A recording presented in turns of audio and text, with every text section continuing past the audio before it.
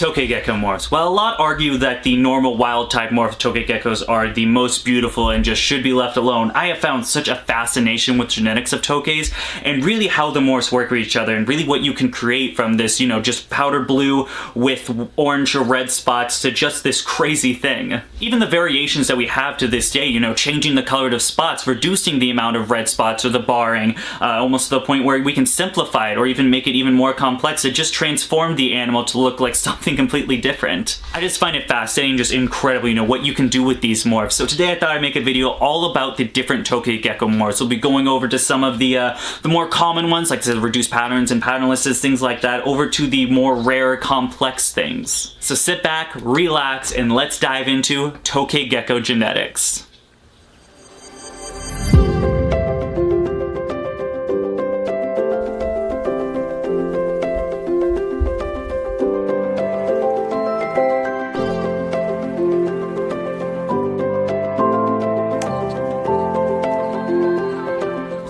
Start this video talking about the more uh, easier to come by, the more common morphs and any with the more rare stuff. And what better way to start this video than talking about the first Tokay morph that I actually purchased, which is of course that reduced pattern. Now the reduced pattern does pretty much exactly what the name suggests. It reduces the pattern. So while you have the normal wild caught morph being a powdered blue with those red or orange spots, what this genetic is going to do is going to create a gecko with a more reduced pattern. So you're going to have uh, pretty much little to no orange dots. You're still going to have the white barring on the uh, down the torso, but there are going to be a lot less orange dots than you would typically see in a wild morph. Now, the amount of orange that stays in the gecko seems to vary on gecko to gecko. Uh, for instance, my male seems to have just a couple spots dots here and there, whereas the babies so far have virtually zero dots. That's not to say they're never going to have those orange dots. Of course, they are still very young, only varying from a couple weeks to a month or two old. So maybe towards the uh, end of the line when they fall into a full adult, they might become a little more orange dots, or they might not have any. We'll uh, just have to find out. Now going into a little bit about the genetics of the reduced pattern, as we know the genetic is an incomplete dominant, which then results into a 50-50 match if either you're going to get normal babies or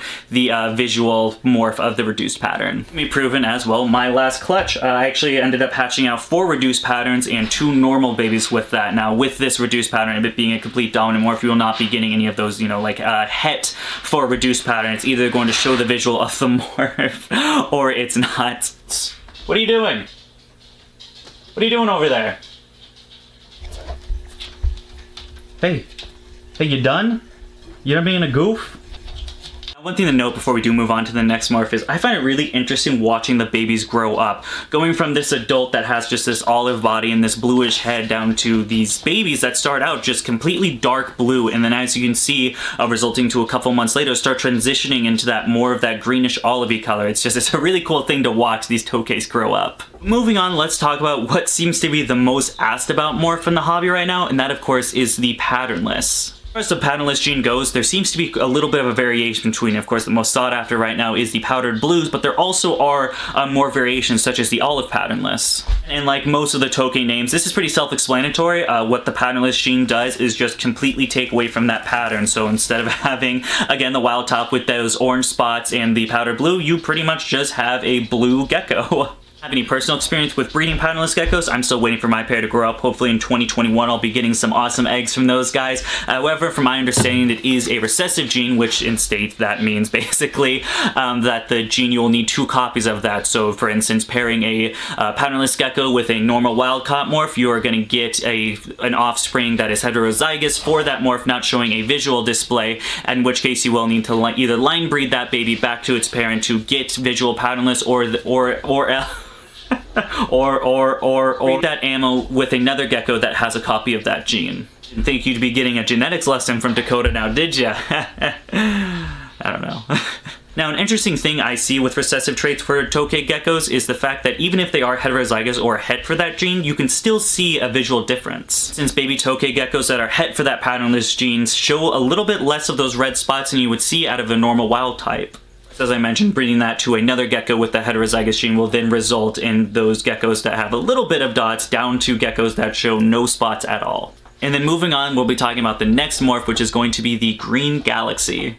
The Green Galaxy is a project done by Morgan from Homegrown Scales. Uh, obviously, you know, I've mentioned her a bit on this channel. Of course, I bought multiple geckos for her, and she was on my podcast recently. And Morgan really produces just some amazing patternless base geckos. And with these Green Galaxies, it definitely makes a twist with it. Pretty much, the Green Galaxy is almost the opposite of a reduced pattern. So you're getting these geckos that instead of taking away of the orange spots and keeping that white barring, you're getting a patternless base geckos with the orange spots. It's not going to be like that normal wild type morph where there's these blotches of these orange and red spots everywhere. No, these are almost like sprinkled on. It definitely does make like, it almost looks like a galaxy when you're looking at it. When this gecko is fired down, you can definitely see a lot more of these orange spots and just this speckling that just looks incredible. And then when they fire up, it's almost like this marbled white. I mean, these guys are incredible. Honest, I don't know much about the Green Galaxy genetics and really what goes into making them.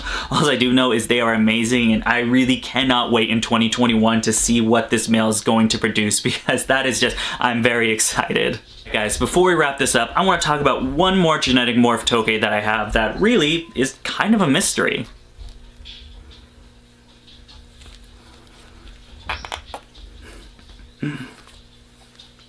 Come on, sweetie. Calm down. I know, I know. Oh, so fresh. Fresh Tokay. Oh. Easy, girl. I gotta get your picture. This is Oddball. Now, Oddball seems to be more of a genetic anomaly. Anomaly? Anomaly? An anomaly? You know what I'm saying. as far as I can tell, and I've definitely reached out to quite a few people, no one really knows what Oddball is. She is this strange tokay gecko. I got her as an adult import who got her as secondhand from NERD, um, so as far as I can tell, I just don't know what she is. Now, Oddball has been in my care for quite a few months now. I'll post a little Instagram picture right there of when I first got her. Uh, she was not in very good condition. She was definitely a standard import, you know, very skinny, dehydrated, uh, but through this time, I've definitely raised her up to where she is a nice breeding weight at this point and is perfectly fine for breeding. Uh, however, after pairing her with her first male, it's been about, I want to say, around two months now, and they just have not gotten the deed done. So I'm actually in the process of now removing the male, having the, them cool down, make sure the scent of the male's uh, no longer in the enclosure. So that'll take about, you know, anywhere from three to four weeks, and then trying to pair her with Big Red, my big normal male, and see, you know, if he can get the job that that reduced pattern just wasn't able to do.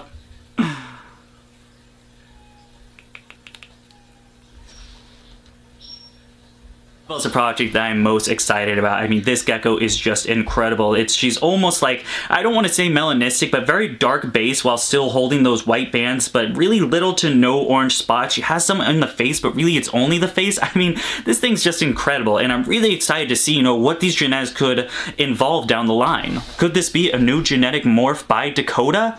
Probably not. Uh, most likely this is just a morph that's just hard to tell. She may be just a weak result of one morph or the other, or maybe it's just something that we haven't seen in a while. Uh, it, not sure, but the fact that I might have my own morph, I mean, it's, it's not very likely. We're not giving up hope though. I mean, I'm, I'm, I'm gonna call them DB's geckos. That's what they're gonna be called. And that's really the thing when it comes to Tokay geckos. While there are some morphs that we do know about, there are a lot that we don't. And really the only way to find out what to do with these guys is really line breed them. So this girl will be pairing in with a normal male. And in fact, I'll take those babies, raise them up, and then line breed them back to the female to see if we can uh, produce any of these visual traits that the female has. Or maybe it's just this weird anomaly, you know, just a paradox. It's a one-off thing. Or it's just something that I can't really see. But I don't know, just even with that small percentage that this might be a new crazy morph, you know, that no one else is working with, that definitely, you know, gets me pretty excited and wants me to push and making sure that this girl is the healthiest she is, you know, thriving and make sure that she produces some nice eggs. All right, are you ready to, are you ready to go back in? I think you are. This is the first time she's actually been out. I've actually just left her alone for months making sure she's gained weight, but I want to take her after this video. Uh, she was not happy being out of the enclosure. You can already see. She is like, Dad, what are you doing? You have never done this before. That really just goes to show you, you know, these guys really aren't that bad with handling. It's just the initial getting them to calm down, and then once they are, they just kind of lay still like this, and you know, just chill out on you, ready for something to come to your finger and attack. Oh no, I mean this is an imported Tokay that has little to virtually zero handling and it probably took me two minutes to grab her out from the cork, uh, the little cork flat and then get her on, bit me a few times and then settle down like this where I feel comfortable just holding her with my bare hand. So, I mean yeah, really it just goes to show, you know, handling Tokays, it's not as difficult as one would think. Be prepared to take a few bites, but um, that's where I wear the wimp glove. All right, sweetie. All right, we'll put you, we're gonna put you back in your cage. You know, I know you don't like being out here gonna wrap it up for today. We saw some cool tokays, talked a little bit about genetics and how they work, and you know, took Oddball out. You know, I don't take Oddball out, and you don't really show her that often, so it's pretty cool, you know, seeing her firsthand, definitely on the channel. If you guys are interested in checking out some more Tokay morphs, I will have a video idea coming out next week where I'm collabing with um, some of my fellow Tokay breeders. They're gonna be sending me some clips for their Tokays, and we'll be talking about more of the rare, uh, you know, harder to come by and more uncommon morphs. That should be coming out, you know, sometime next week. I gotta put it all together, make sure I get all the pieces, and you know, do the video justice because yeah, I got got a lot of people contributing and I really want to make it a really nice video. So don't forget to, uh, you know, subscribe, all that stuff, I guess. I don't know why I'm a YouTuber, man. I, I suck at talking, I really do. You don't want to miss out on your chance to check out the video, so make sure to subscribe. You know, check the, the like button if you do as well, because, you know, it helps out the channel. It helps me out, you know. Man, it's one click, man. You can do it. Come on.